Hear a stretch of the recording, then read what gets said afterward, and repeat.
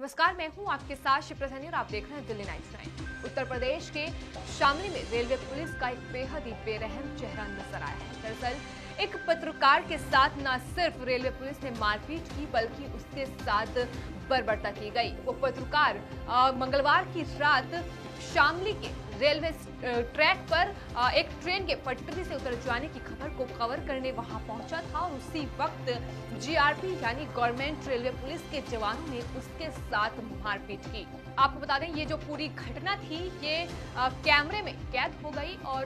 पत्रकार अमित शर्मा का कहना है कि पुलिस ने न सिर्फ़ उनके साथ मारपीट की, बल्कि उनके मुँह में पेशाब कर दिया। तो वहीं इस घटना के सामने आने के बाद रेलवे, पुलिस के एसएचओ और साथ ही कांस्टेबल को तुरंत सस्पेंड कर दिया गया। लेकिन जिस तरीके से ये घटना हुई है, ये कई सवाल खड़े करती है कि क्या पत्रकारों को खबर भी कवरेज करने का अधिकार अब नहीं रहा है, क्योंकि जिस तरीके से वो वीडियो सामने आया है और उस वीडियो में पत्रकार के साथ मारपीट की गई है, दरअसल जो जीआरपी के जो भी जवान हैं, वो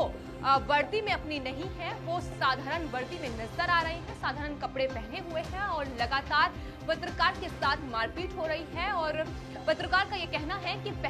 उसका कैमरा तोड़ा गया और उसके बाद जब उसने कैमरा उठाने की अपनी कोशिश की तो उसके साथ मारपीट की गई और उसके बाद उसे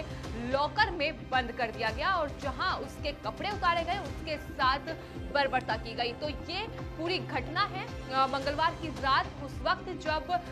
शामली में एक ट्रेन पटरी से उतरी और उस खबर को कवर करने के लिए पत्रकार वहाँ पहुँचा था, जहाँ उसके साथ रेलवे पुलिस के द्वारा मारपीट की गई।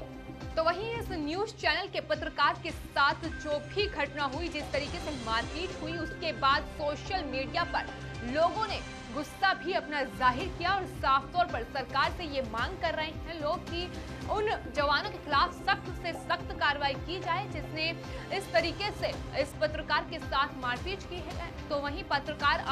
अमित शर्मा का ये कहना है कि हाल ही में कुछ दिन पहले ही उन्होंने